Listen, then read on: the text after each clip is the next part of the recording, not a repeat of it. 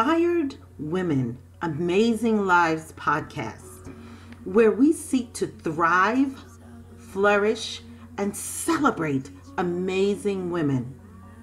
Kimberly Wiggins here, and we are hosting inspired women who are sharing their lives and stories so that other women may know that the journey to your amazing life is definitely within reach.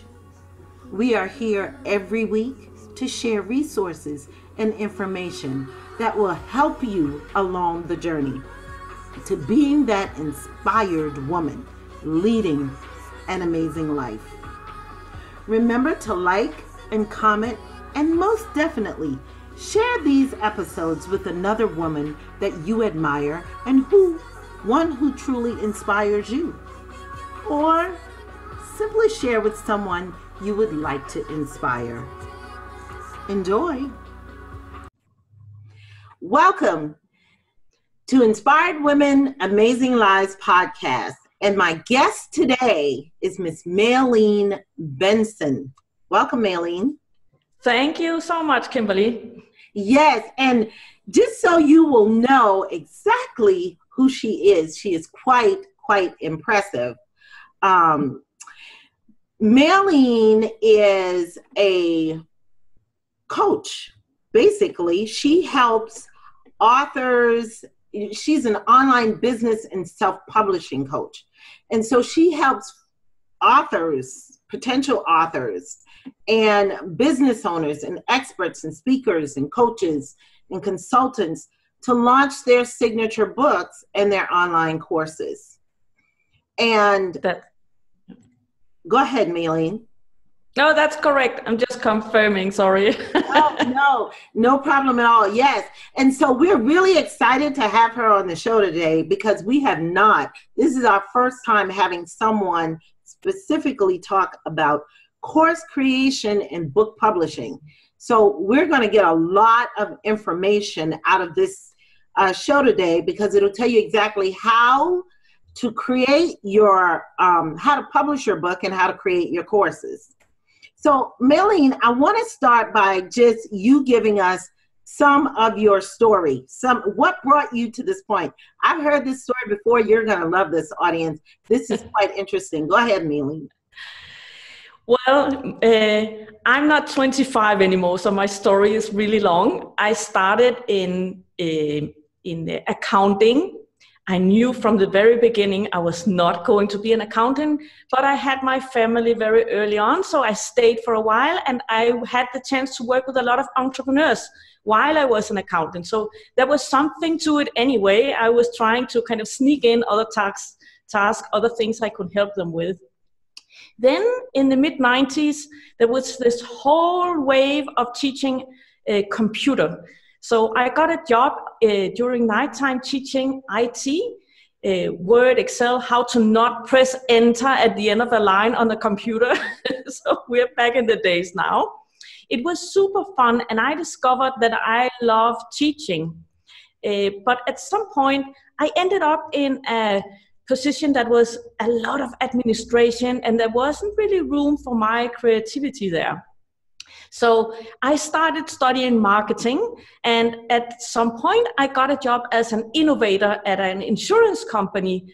And after seven years in that company, I was doing innovation projects, strategy, and I had an awesome corporate career. I ended up uh, at the second highest level of this uh, one a, a, big insurance company. It's number one in uh, in Denmark, number two in Norway. So I should be happy about this career. The only problem was that I wasn't. I got my MBA, I got this fancy job, I got the salary, and I wasn't happy. So at some point, I after kind of diving in and figuring out why am I not happy, I discovered that it had to do both with my job but also with my personal life. So I ended up selling everything I have, get divorced, uh, and kind of pack my bag and go to Latin America. I love dancing Cuban salsa, so I was hoping that maybe I could learn some more salsa there. Um, but what happened was that after just a few weeks, well, at that point, if I'm backing up a little, at that point, I really wanted to start a company. And I've been traveling a lot while trying to figure out what to do next. And I discovered that the only thing I really wanted to do was traveling. So I had to find some way of earning money while traveling. And that's the true reason why I just bought a plane ticket and decided I'm now an independent. and now I'm, I'm trying to, trying to build a company, support myself without any employer and I had no idea what I was doing. So, I uh, after a few weeks in Lima, Peru, I happened to meet a guy that had a small startup company there, and they were converting books into ebooks. So while I was trying to figure out how to create a scalable online business, this guy showed me the whole world of books and he asked me to help him create a proposal for a big Danish company to do an investment in his small startup company in Lima, Peru, of all places. And they said yes, and they said yes on that condition that I stayed. So for that reason, I kind of bumped into the whole book world. But the really fun part of this, Kimberly, is that when I was eight years old, in my dad's and my mom's house, I created a small library and I created courses to teach all of the children on my in my street how to create books. and I was sitting there week after week waiting for them to come to my house to borrow books because they must love books as much as me. so it was kind of a full circle. yes.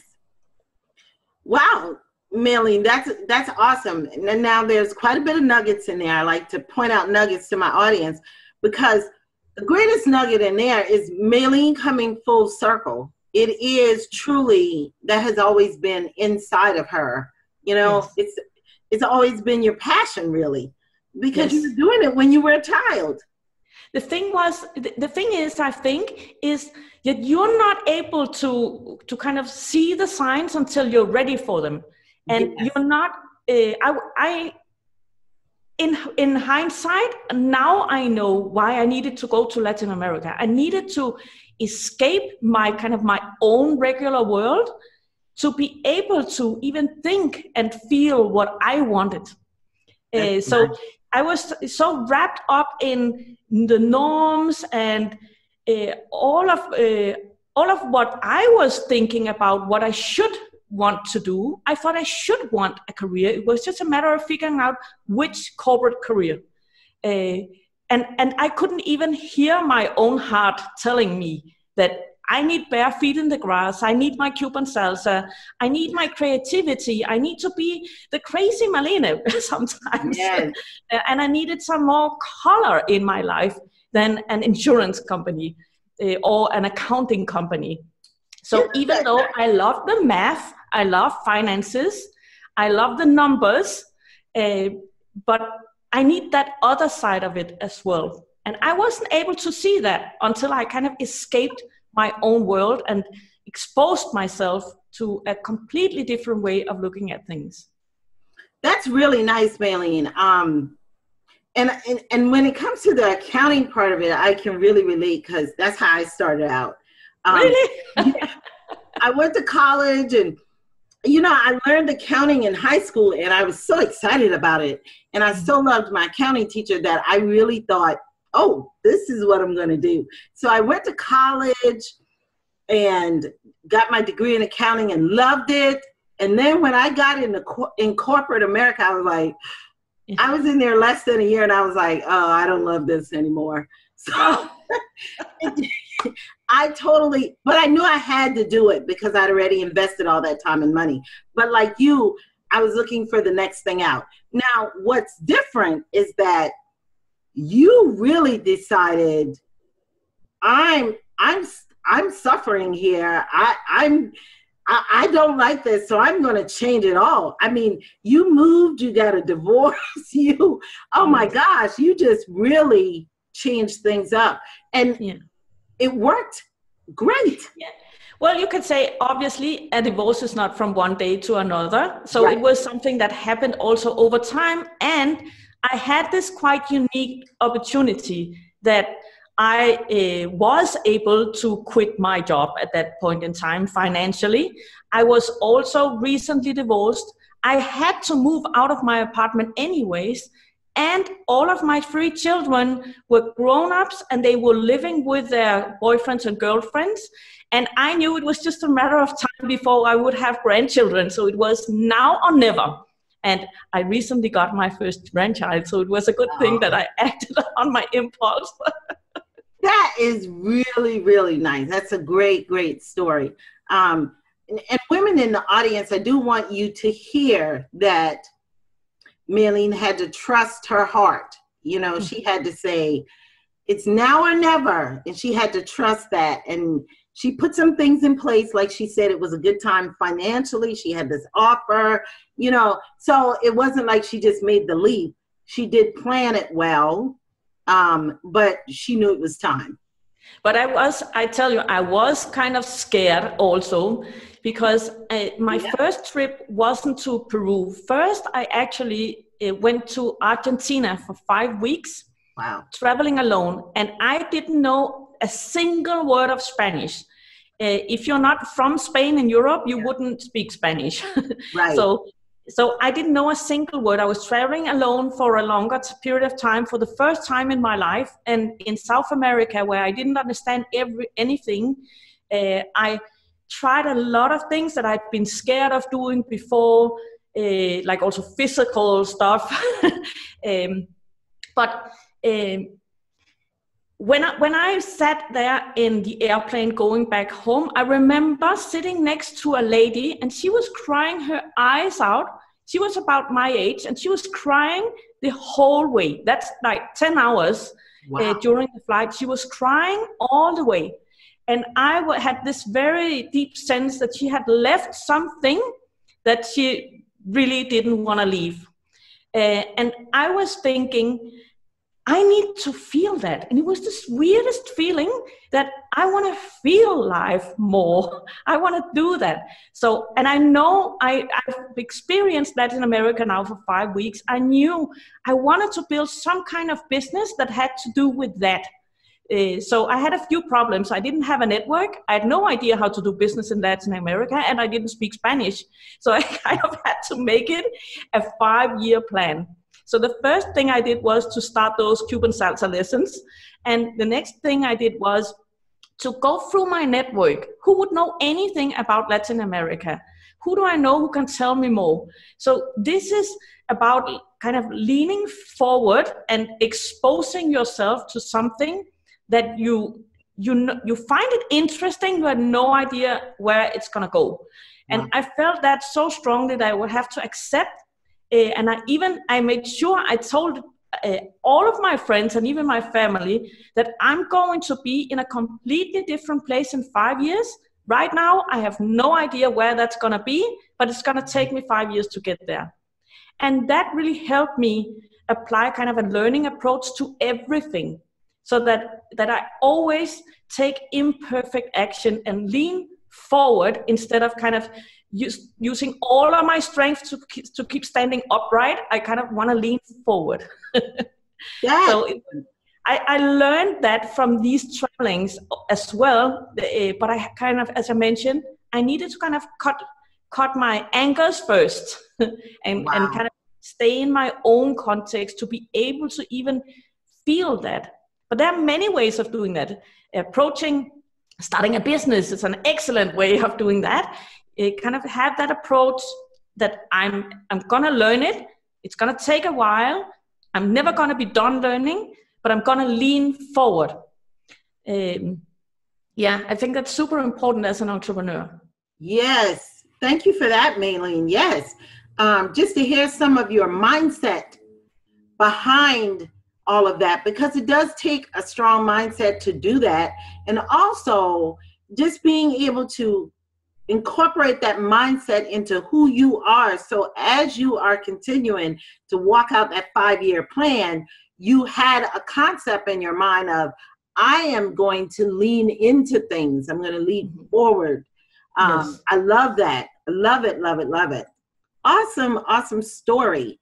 Um, now, you're in this book publishing world right? Yes. yes. And first of all, the first thing I want to know, because this is so juicy for me, and, and let me tell you, Malene, why. Because I am in the process of getting a book ready for publishing, and I am writing another book already. Wow. So, so um, my first book was kind of like a passion project, and now the second book really relates to actually what I I do as a as a coach. So um, in this book publishing world, tell me, or just so my audience will know, what do you see a book doing for a business? What what what is the importance of a business owner or a business publishing a book? Well, the first thing I want to say is that quite often we without even realizing we kind of adopt the mindset of a fiction author. When we talk about book publishing quite often what we hear is very successful fiction novelists uh, so publishing fictional books. And it's a completely different game when you're publishing non-fiction, non-fiction to boost your business. And i'm going to tell you why. Because when you're doing fiction, you kind of have to play with the words and do use your imagination to create something new. The, the whole process, you have to be very creative, inventing your characters, describing the places so that I can kind of feel that I'm also there, or it could have been me there. Uh, but when you're doing nonfiction, you already have all of the knowledge. Mm-hmm. All of what you want to convey is already in your head. So for any coach, consultant, teacher, speaker, any kind of expert, they are already they have their their knowledge highly organized and they are already communicating that knowledge in different ways in a product an online course in um, group coaching they kind of have their systems they have the processes and their knowledge in place already.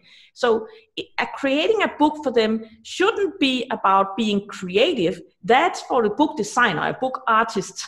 they got, they're going to make it beautiful, but the actual words you want to convey, that shouldn't be a super creative process. Um, so, uh, did I answer your questions? yes, yes. Um, so I think it's it's important that you kind of separate uh, the, those two categories. So what's happening in the publishing world is that the traditional publishers they are more and more also focusing on on digital books on audio books but they're still far behind and their uh, their time span for how they plan what they're going to publish is about two years so if you present a book proposal to a traditional publisher if they don't have that topic of a book already inside of their plan, they are not even going to read your script. It's quite rare that they would even spend time considering if it's a great topic because it's not in their marketing plan for the next two years. They're actually publishing quite a few books. And because they, ha- they have a process where they are printing high volumes, they're distributing physical books and they do that to keep the cost down and their margins up, uh, they have a higher risk. So they would be publishing with a traditional publisher will be a very long process because they really feel the need to invest a lot of resources and time to make sure it has each book has to become a market success. And even though we also as self-publishers want a market success, we can do it a lot faster. And we can do it for a small niche, which a traditional publisher cannot do because they need uh, they are investing in a few books and they need broader appeal uh, to these books. So they need broader markets. This quite often means that when you're publishing with a traditional publisher and they're professional, they are super professional.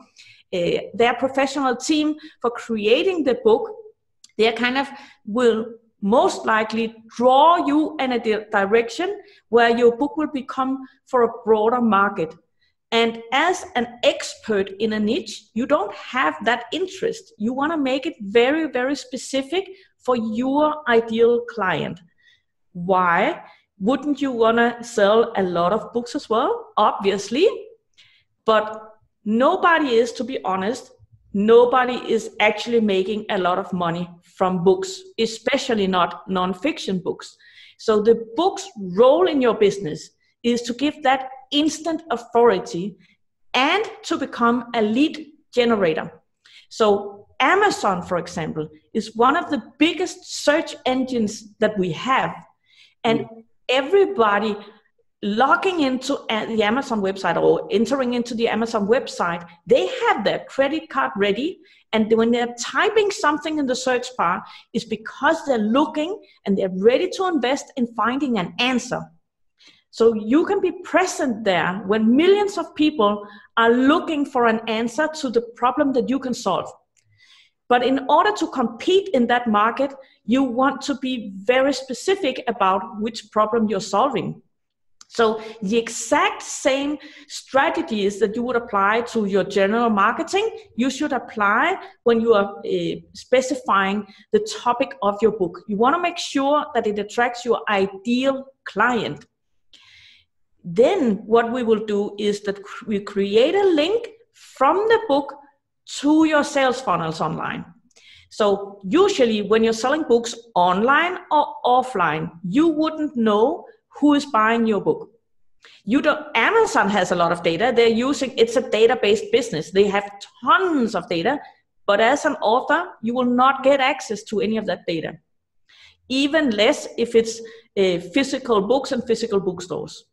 But we can create a link between your book and your sales funnel by making it very specific for your ideal client the probability of them going to your website for something, some additional content that will kind of supplement or make them get to their solution faster, they would they are very likely to kind of enter your funnel. So the leads you would get from your book, they are highly qualified and very valuable leads.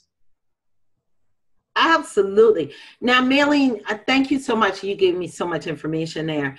Um, you answered my question. You answered that question plus the other question for me, which was the main difference between self publishing mm-hmm. and traditional publishing. And you made really good points about that. Um, so you talked about. I'm sorry, there is one more point I would like to make about that, and that is about the commercial rights. so when you're publishing with a traditional publisher, you're giving up rights to your book. So the first advice is to read the contract, also the one the, the lines with the small letters. so if you give up the commercial rights for your book, when the publishing house they maybe they have sold a thousand copies. Let's say they sold a thousand copies, they don't think that they can sell a thousand more, so they will take it off the market. If you publish like that, you wouldn't be able to put it on the market because you gave away the book rights. So an important thing about publishing as an, specifically as an entrepreneur, you want to be able to make the decisions inside of your business. Also when it comes to your book, when it comes to how what it should look like, which niche it should be targeting, what the message should be, but also for how long and how it should be marketed. Mm-hmm. So apart from the process being super long, apart from you being kind of overruled sometimes by a, a highly skilled, very skilled, a professional book editing team, for example, you might be overruled in the process. So it's also the creative rights, really. But above all, if there's one takeaway from this is that you keep your commercial rights to your book. So you can keep launching it for however long you like. You know, that's a good point that you made, uh, Malene. I recently um, spoke with, she, she was not a podcast guest. I spoke with um, a client, a potential client. Um, I was talking to her on the phone, and she had written um, one of the, she had written a chicken soup for the soul type in mm-hmm. one of the chicken soup for the soul series she was an author in there a long time ago and she'd done it about productivity And so, um, one of the things that she stated in there was that she has not made any money off that book for a very long time. And productivity was her niche. Mm-hmm. Um, because of the book she wrote with the Chicken Soup for the Soul series, she was banned in her contract, contractually banned from writing another productivity book. She oh. couldn't, yeah, she couldn't, she had used her like signature system in that book, and she was banned yeah. from using it in another book anywhere else. So yeah. she was, her and I were having conversations so we could brainstorm ideas about things she could do other books she could write to circumvent that or go around that in some other topic that was still related to productivity. Um, yeah, and, and, this can happen even if even if the publisher do not want to do anything with that book anymore. Yes, and there this can happen. Yeah, they weren't really selling. She's like, I'm not making any money off that book at all because they're not really. It's old. It was that book was 20 years old. I think she said it was. Oh my goodness. Yeah. Goodness. So it was kind of yeah. I was kind of sad about that because she had done um, some interviews. She did an interview on Oprah. She did an interview somewhere else. She told me she did an interview, but she couldn't really. I said, these are things you should be able to leverage. Um, yeah. But she couldn't figure out how to leverage them because she felt she was pigeonholed into this contract where she couldn't write another book. So I hear I hear this so often, and and and I I believe that if you write a novel, I think a book can have a bigger push through a traditional publisher. I I have, a lot of books will be having a bigger push through, through a traditional publisher, but if you run a business, I really think you should think twice about not self-publishing. You you would probably want to self-publish you have so much more control and and you definitely own all of the rights. Yeah. Uh, and and even though i say that that you don't earn a lot of money very few people they don't make most people don't make a lot of money on their book but they make them on the back end sell if you if you do it right. If you do it right it can be a, an excellent boost for your business but but the, the revenue will come in on your back end uh, of, of your more important more profitable product or service yeah even my passion project book here that i'm getting out um, it, it is a, more of a spiritual book mm-hmm. um, and even in that project i am not i'm not just putting the book out there and not um, I'm going to self publish, but I'm not just putting the book out there without a plan for it on the back end. Because, like you said, you know, everything I'd read said the same thing. Um, you know, there is not a lot of money to be made from the book itself, but um, the back end. It's a great lead generator, and it's a really good it's a really good uh, authority builder as well. Yeah. Almost, almost on any topic. Obviously, the closer it is to what you want to be known for, the stronger the brand uh, impact it will have. But even if you publish a children's book, people yeah. just simply admire people who published. I read a survey that 81%, it's an old survey, but 81% of all Americans feel they have a book inside that they want to publish, that they should publish it. And less than 1% do. So every time you stand in front of a person, there's a pretty big chance that they would love to be in your shoes. yes. And it's how we have books, is how we have a kind of packaged knowledge and education for centuries so instantly, we, we consider a, an author an, an authority almost almost no matter what the topic is. But for sure, it is a huge lead generator as well if if there's a really close match. But in any case, whatever you publish, people people admire that. Especially yeah. if they create content themselves they would know how much it takes to create content. But i have a workaround to make that faster that process for a book do you want to know? Oh yeah. Very nice. The thing is when i when uh, i started uh, i told about the difference between a fiction book and a non-fiction book. So for the non-fiction book uh, which is that's a segment i work in and my process is developed for that specifically the knowledge is already organized. So it's about kind of doing a brain dump and and remember all of your knowledge. So i have a process for kind of opening up all of those small pockets uh, inside of your brain to kind of have that uh, visible knowledge outside of your brain organizing a structure and then we speak the book. So instead of typing it we speak it we transcribe it and then we edit and when you do this process right, it's all in the preparation. What we actually do is that when we do it this way is that we separate the task of the left side of the brain and the task of the right side of the brain. Let me explain that.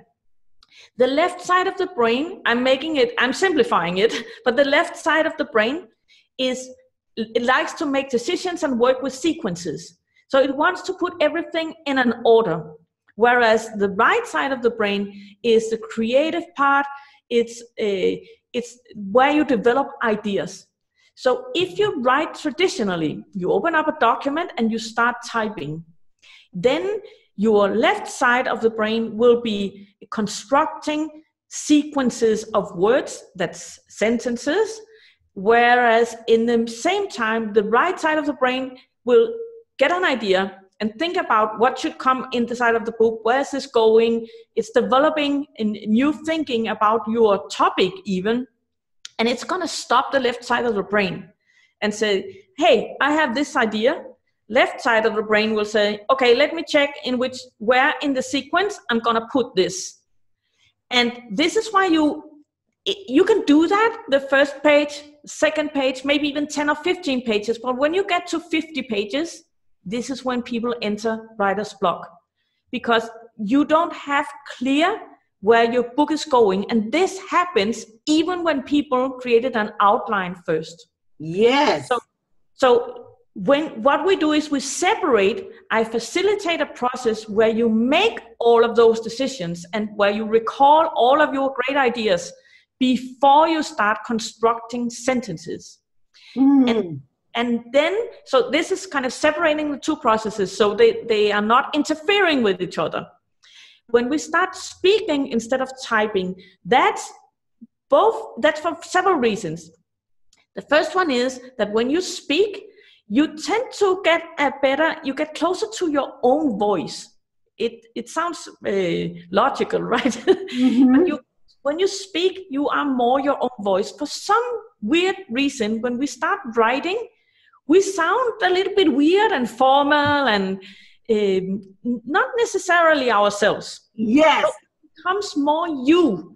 And what you want with your book is to build not only to convey a, a message and transfer knowledge or a system to someone, you also want to build a relationship with your reader.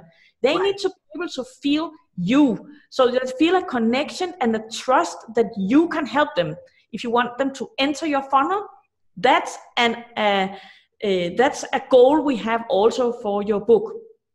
Mm-hmm. And the other reason why we do audio instead of typing is that you are able to type at least, oh, sorry, to speak at least 10 times faster than you can even type, even mm-hmm. if you type fast. So if you just think about, you can probably read a nonfiction book of 200 pages, you can easily read that during a weekend. Mm-hmm. So when you're reading, that's the same as speaking. It's an internal dialogue you have when you're reading. So that's about the speed that you can create a 200 page book, but not if you're typing it. You, we all, I think we can all agree that none of us would be able to type 200 pages of a book in a weekend. Uh, so this is the, the, second reason why we are using audio instead is that it's simply faster and that we want to type it is just an expression of old technology that we kind of didn't uh, adapt to and and um, and use new technology, which is recording audio and transcribing audio. And there are tools that can do that. Within a few hours, you can transcribe a few hundred pages. So, what we can actually do using this method is to go from blank page to a complete first round edited book. I call it a first full draft because it's all there, but you can still improve it if you want in maybe three weeks. So, we can publish a book within a few months instead of spending a year. And as a business owner and an entrepreneur, uh, I, think that if we think logically about it, all of those nonfiction books that we see having a huge success, these people they didn't take a year out of their, the schedule to write it. They no. did something smarter, and we can copy that and do something smarter when we are creating our own books. I agree, um, Malene. I did not um, I, your process is really, really, really interesting. Um. I had kind of tapped into some of that by chance. Mm-hmm. Um, on this book that I'm writing, th- that I'm finishing up now, because I was, I was moving around so much, and I didn't have time to write. So I would just use my I used Evernote in my phone and I would record it. Yes. And it was real easy because I was only recording one devotional page at a time. So it was easy to do it that way. Yeah. Um, but now that you mention it with my regular book, um, I'd have to, I definitely, I'm definitely interested in your process to figure out how to do that um, yeah. with a regular book, you know? I usually say that you should apply the Pareto rule. So when we do it like this, it's not going to be perfect, but it can come quite close to perfect. But we we kind of accept uh, it's it's also about leaning forward and doing it anyway. it's yeah. a general principle that I apply. It's a Pareto rule. I'm gonna lean forward. I'm gonna do it anyway, and I'm gonna accept. I'm gonna do it a little bit faster, and um, spending 20% of the time getting the book 80% done, but 80% done in the way that it's complete. There's a beginning, there's a middle, and there's the end. And I made all of the decision on what goes in there before I even start recording my audio. So this means that from that point in time, at any point in time, I can decide now it's done. If you start from one end and you get to page 120, if you didn't write the end yet, it cannot be done. You cannot eh, decide to publish it. But when we do it like this, it's it's done, but maybe it's not perfect, and maybe you want to improve it, and you can then keep improving it until you find that it's perfect now, and I'm going to publish it now. But it has uh, it's complete very early in the process. Um, I, like I think that's that. super important because we we can we can keep thinking about what should go inside of the book Mm-hmm.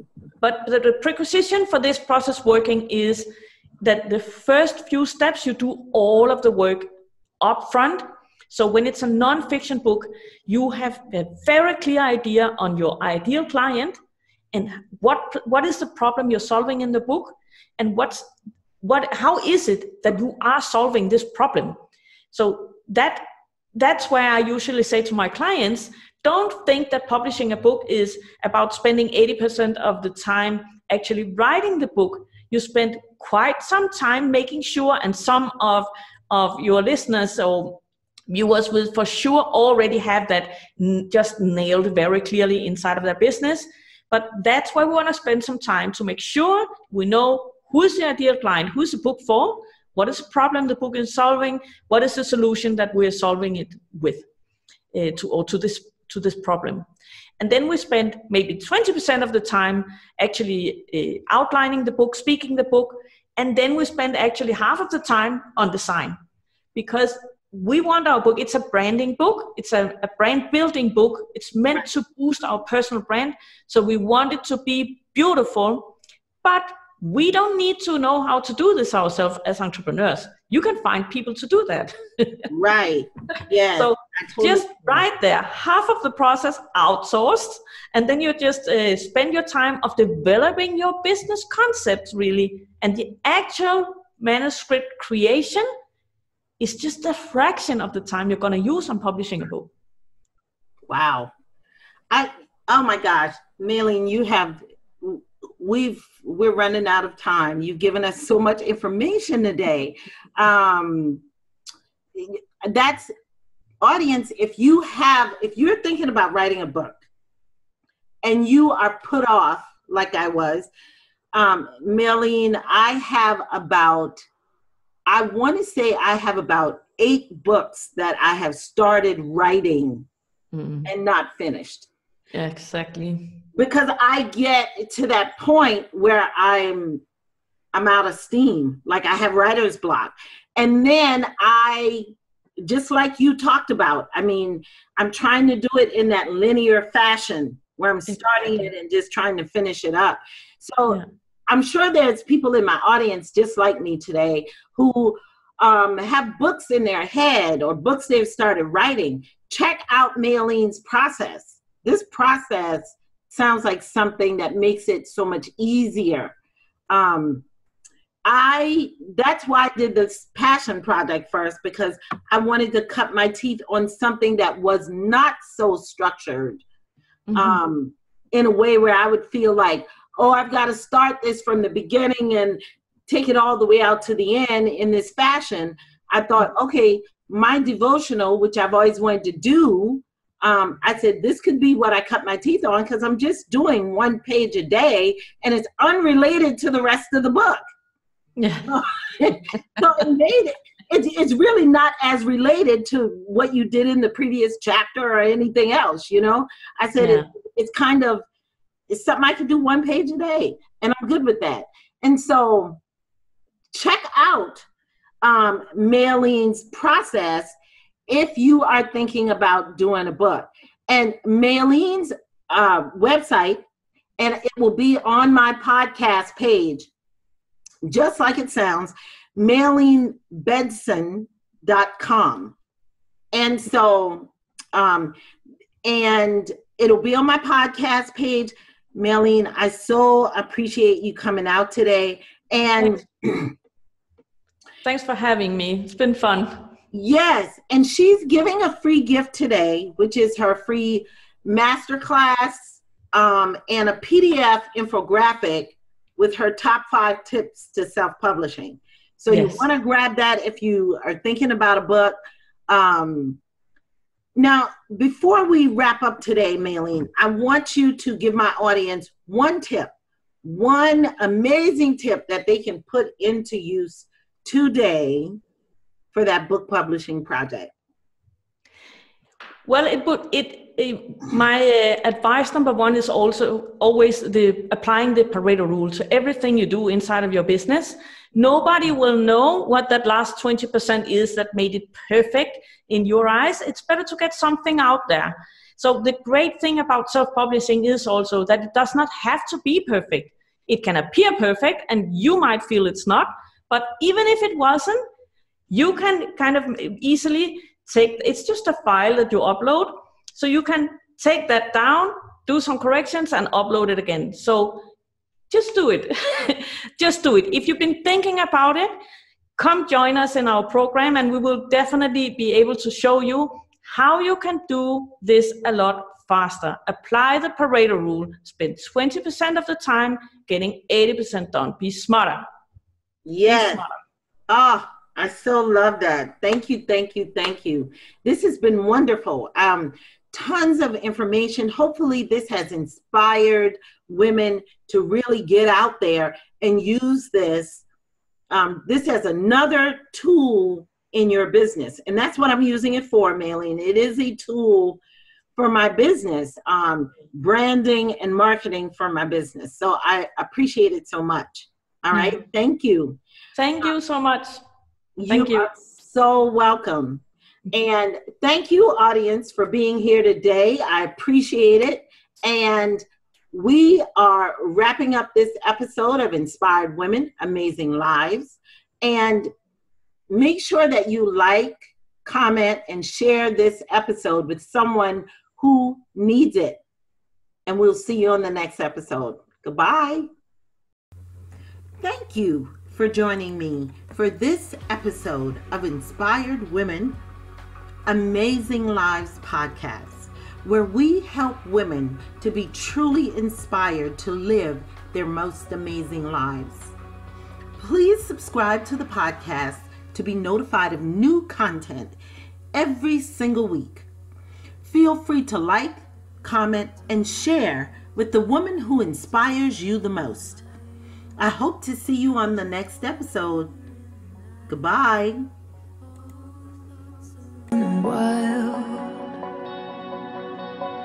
Safety in the whisper of my secrets pouring out the surface. Hold me under the exposure.